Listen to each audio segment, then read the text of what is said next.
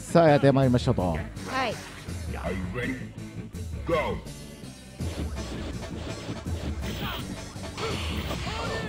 昇竜拳2さあ回じゃあ勝利したと空中判定がでかいんですよ。ウィリアムで。かい方ではあるのであ移動がちゃんとできれば。移動がしっかりできればってことですね。さあこれはこれはしんどい。PA 火力負けた昇竜昇竜減る。深いからの中大ガード中足 EX ガードなんか出ててましたね今ね EX タックルかな。クレバーでしたね今でも。読み合いが。あの瞬間ドラゴンボール待っている中大波動。全部ブロってからそう投げる。あの後ねヘッド見て。着地の位置でいろいろ変わったりするんで難しいですよね。タックレイズ